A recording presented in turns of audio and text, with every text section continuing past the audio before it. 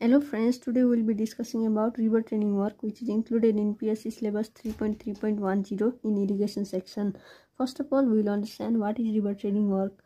The structure constructed to direct and guide the flow in a specified path, to train and regulate the river bed, to save the surrounding areas from flooding is known as river training work.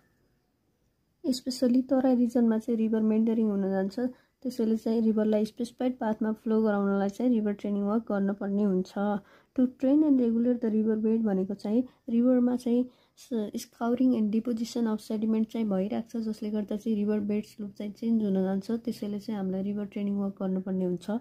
Need of river training work to avoid change in direction of the river to save the surrounding areas from flooding to prevent erosion of bank and improve alignment to provide minimum depth of flow required for navigation navigation भनेको water ट्रान्सपोर्टेसनको लागि सिपहरू चलाउनको लागि. To make the size of the structure economical to make the river water flow in specified path now will study types of river training work number वानमा चाहिँ high water training work यो चाहिँ training for डिस्चार्जको लागि हो. These are constructed for quick disposal of maximum flood and to protect the adjoining land from getting damage due to the flood number two टूमा चाहिँ low water training work low water training work means it is training for depth. It is done for providing sufficient water depth for navigation. Generally spurs are constructed to contract the width of the river and increase the depth. Mean water training work training for sedimentation. It is done for providing efficient disposal of the sediment load and bed load and to preserve the channel in good shape. It is most important training in 3 यो तिनवटा मध्ये चाहिँ यो चाहिँ सबसे important हो। Now will study types of river training structure कस्तो कस्तो खालको रिभर ट्रेनिङ स्ट्रक्चरहरू हुन्छ? Marginal bund embankment or levees guide bund spurs or groynes artificial cutoffs stone pitching with launching apron pitch island number one marginal bund and embankment यो चाहिँ river यो चाहिँ marginal bond हो यो चाहिँ यो चाहिँ plan plan of marginal bund and this is section of marginal bund these are the earthen embankment constructed parallel to the river bank parallel to the river bank these are constructed to save the surrounding areas from flood number टूमा चाहिँ guide bund earthen embankment constructed to make the river water flow in specified path it guides the river water to hydraulic structure such as weir barrage bridge यो चाहिँ plan हो guide बनको यो चाहिँ section हो।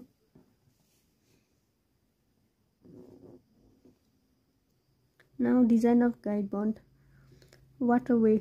Waterway चाहिँ कसरी निकाल्छौँ भन्दा यो फर्मुला लगाएर P is equal to four point seven five under root Q यो चाहिँ लेसिस वाटरवे फर्मुला हो।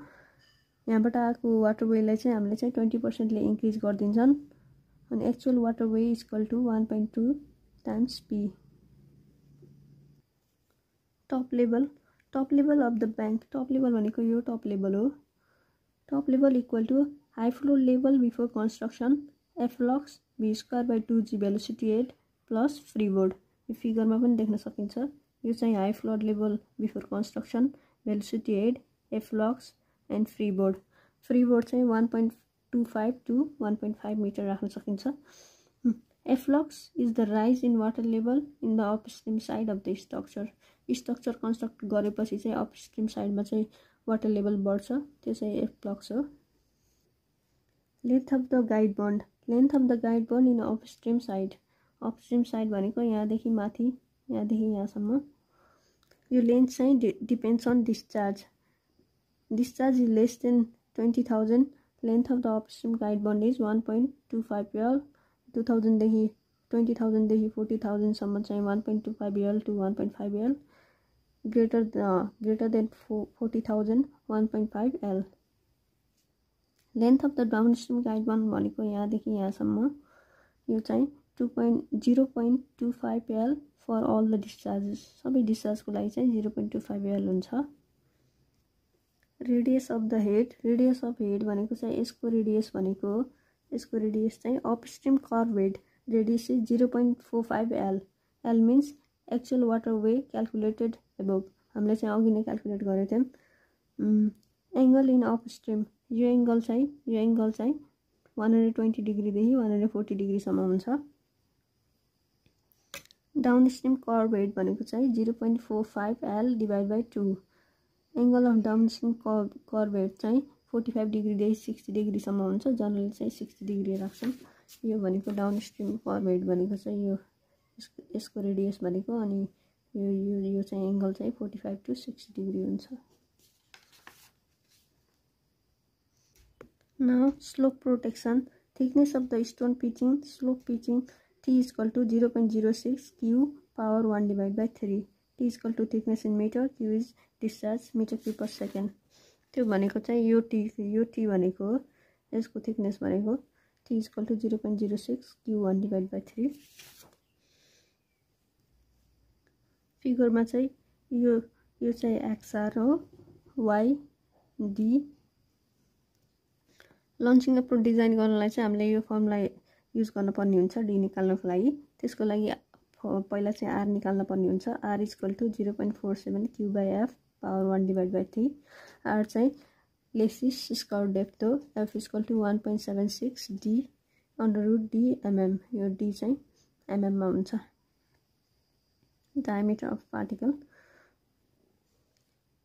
The launching apron is laid in with one point five D यो भनेको चाहिँ यो फिगरमा वान पोइन्ट फाइभ डी भनेको भ्यालु अफ यक्स चाहिँ भ्यालु अफ यक्स चाहिँ डिफ्रेन्ट सेक्सनमा चाहिँ डिफ्रेन्ट हुन जान्छ। यो टेबलमा हेर्न सकिन्छ। Nose of the guide bund nose means यो सेक्सनमा हो। नोज अफ द गाइड बन्डमा चाहिँ एक्सको भ्यालु चाहिँ टु पोइन्ट टू फाइभ हुन्छ यो फर्मुला चाहिँ two point two five R minus Y हुन जान्छ त्यस्तै गरी transition from nose to straight portion यो ट्रान्जिसन सेक्सनमा चाहिँ एक्सको भ्यालु चाहिँ वान पोइन्ट फाइभ हुन्छ त्यसरी यो फर्मुला चाहिँ one point five R minus Y हुन्छ straight reach to guide bund भनेको यो यो सेक्सन हो यसलाई चाहिँ स्याङ्क पनि भनिन्छ। यसमा चाहिँ एक्सको भ्यालु चाहिँ वान पोइन्ट टू फाइभ हुन्छ one point two five R minus Y हुन जान्छ slope of scour is equal to two is to one भनेको चाहिँ यो स्लोप भनेको यो स्लोप चाहिँ टु इज टू वान हुन्छ। Thickness of the launch apron is equal to one point two five T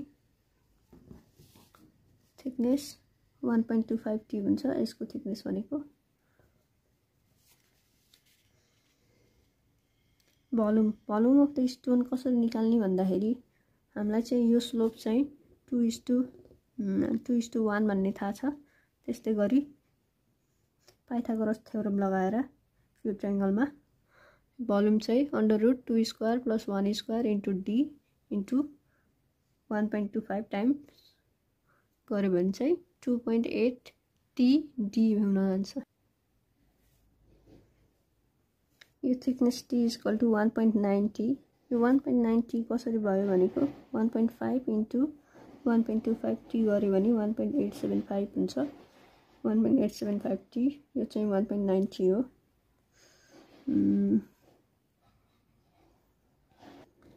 यो टप विथ चाहिँ चार मिटरभन्दा सानो हुनु हुँदैन। माथि निकालेको भ्यालु चाहिँ यसरी प्लान बनाएर देखाउन पर्ने हुन्छ। टाइप्स अफ रिभर ट्रेनिङ स्ट्रक्चरमा चाहिँ will study about spurs it is the structure constructed generally perpendicular to the river flow and extending from bank of the river up to certain limit भनेको चाहिँ यहाँ फिगरमा हेर्न सकिन्छ यो चाहिँ यो ब्याङ्कबाट चाहिँ यसरी सर्टन सर्टन डिस्टेन्ससम्म चाहिँ यसरी स्पर्सहरू बनाउन सकिन्छ जनरली चाहिँ पर्पेन्डिकुलर हुन्छ। Function of spur the train the river deflect guide and attract attract to protect bank by keeping away flow from it to contract wide river and increasing depth for navigation and to collect sediment यो चाहिँ स्परको plan हो यो चाहिँ section types of spurs per classification based on material impermeable spur and permeable spurs impermeable spur भनेको कस्तो भन्दा it does not allow to allow passage of flow फ्लोलाई चाहिँ पास हुन चाहिँ दिँदैन पर्मिएबल भनेको चाहिँ they allow passage of flow across them classification based on height submerged submerged spurs or gyrons and unsubmerged spurs. Submerged भनेको height of the gyron is less than river depth during high flood unsubmerged भनेको height of the groyne is more than high flood depth based on alignment and function they serve repelling type deflecting and attracting first of all repelling pointing in upstream direction pointing in upstream direction यो चाहिँ upstream direction हो अनि यो चाहिँ downstream हो pointing in upstream direction repels flow water towards opposite bank opposite bank यो चाहिँ यता दखाल्छ most effective type deflecting deflecting means this deflecting or normal deflects river current away from the bank. mostly used type